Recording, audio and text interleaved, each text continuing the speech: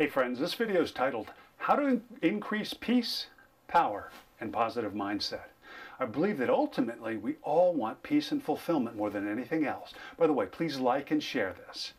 Of course, there are other things we want other than peace and fulfillment, and the truth is, we must actualize some of these other things if we are to attain deep and lasting fulfillment, right? Of course, fulfillment itself comes primarily from these other things, primarily but it still emanates from within. We all want to grow, to contribute. We want stimulation and to matter. And actualizing these things will bring fulfillment. So here are five tips to create greater peace and help you achieve everything else that you want, including fulfillment and the other subcategories. Number one, accept only self-compassion and positive self-talk. This is a tough one. Most of us engage in self-flagellation to one degree or another most of the time. Make it an active and habitual practice to seek out and compliment yourself on your skills, your virtues, and your wins each day. Now, let me repeat that. Make an active and habitual practice of this, as opposed to occasionally possibly remembering to do it. In fact, right now, put this video on pause, do come back, get out your smartphone and schedule a reminder for twice a day, every day, for the next month so you won't forget and you'll make it a habit. Seriously, do it now. Otherwise, you will forget, and a great and positive and simple tool for your happiness, fulfillment, and success will go to waste. Do it now. Look, habitually recognize, praise, and congratulate yourself as you would a small child you love deeply. At the end of each day, make a list of three to five things you did well.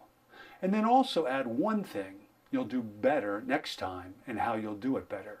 Always keep this ratio skewed to at least 3 to 1, preferably 5 to 1, positive to next time I'll do better.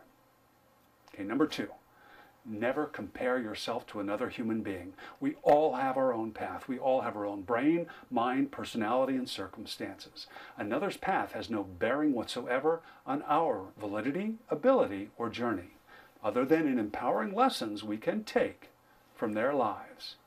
Learn from others, but don't ever compare yourself, positive or negative, to others.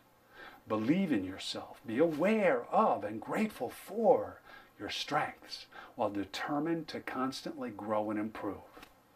All right, number three, accept, even celebrate that life will absolutely have disappointments and pain we all want to grow, right? We all want to figure things out.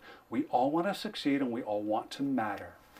Well, if we aren't growing and developing, our lives can't grow and develop. Let me ask you, when do we grow most? Heck, for most of us, when do we grow at all? It's when. It's when we experience obstacles disappointments, frustrations, and yes, even pain. That's when we grow most. So hack your mind to revel in obstacles and in disappointments and even pain.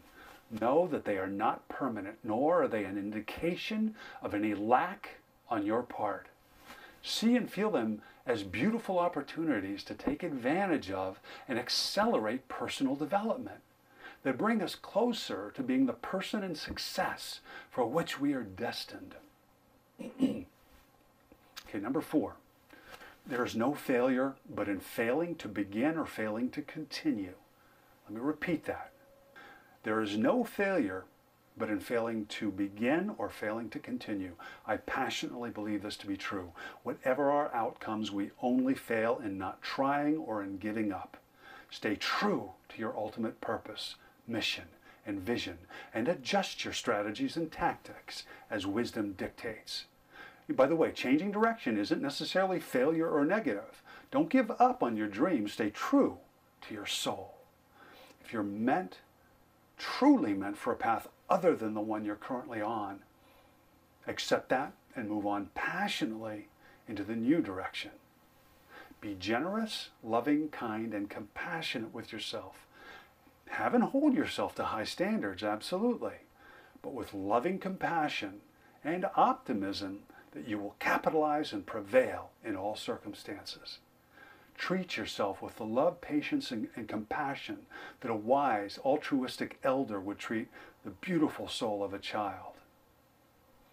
Number five, love yourself. Believe that you are perfect, but that you will become more perfect today and tomorrow because the journey is never over. Keep this self image. Constantly love, support, praise, and humor yourself again as you would a child or a friend that you most love or would love to be supported by another. But also keep the thirst for personal development and success burning within. We are all works in process, perfect as we are, but driven to an ever higher level of perfection today and tomorrow. There you have it five habitual practices that will help you bring what you are after love, peace, prosperity, growth, stimulation, probably anything else your soul and your mind desire.